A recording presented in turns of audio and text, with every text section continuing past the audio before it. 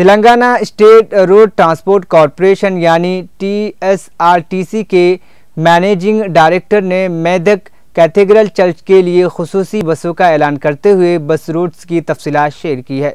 Medak cathedral church के लिए खसूसी बस जो रफ, गौथिक अंदाज में बनाई गई है और एशिया के दूसरे सबसे बड़े चर्च के तौर पर पहचानी जाती है।